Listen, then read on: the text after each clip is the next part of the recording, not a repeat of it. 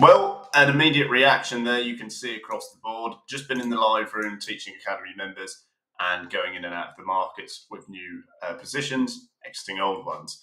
What happened with inflation? Well, it came in hot. You've seen a pull down um, in dollar pairs. You've got real pound weakness, dollar strength, essentially in this case. So just pick this pair specifically to use as an example. But you can see really the reason why this is happening is because that dollar strength i.e., rates not coming down as quickly as everyone would have imagined uh, because of that inflation data. Okay, so that has taken you 1268 all the way to 126. Big, big, big drop. And lots of traders now, like myself and many others, will be looking for that initial price reaction to take advantage of lower prices.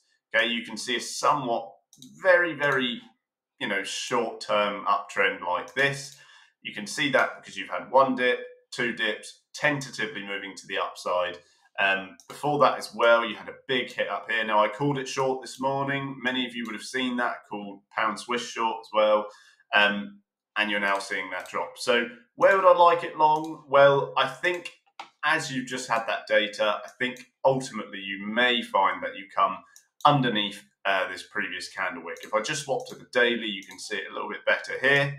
Wouldn't be shocked at all if you drag down. But in the very near term, you may get an impulse reaction. So any entries you take to the long side now are going to have to be very small. And I would take very early exits just because you've got that sentiment now just come in um, that is weakening the pound, strengthening the dollar. Now, if you zoom out, you can see kind of more or less, and it's probably better seen on the weekly, you can see you've had sideways movement for a reasonable amount of time. Okay. If you look at where you were up here, you had your peak, but you've stuck within this range for a while. So coming back around here and then finding that pound sentiment changes and dollar sentiment changes at the same time. In other words, people start to save pounds uh, as a preferred currency to the US dollar, and therefore buying pounds and selling dollars is going to cause a move up. So I don't think that's going to occur yet. I think you may find yourself in line with this key price action level over here to the left and in the center and then back to it. But in the meantime, like I said, there's there's a chance for impulse scalp longs. So any trading activity now, essentially what I'm saying, if you're going to buy something like this, it's got to be light and you've got to have those early exits. So if you shot up here, for example, you would look to kill that off very quickly. You've got to have that risk averse mindset when the volatility increases and you're trading anti sentiment. In other words, the sentiment is against the way you want markets to go.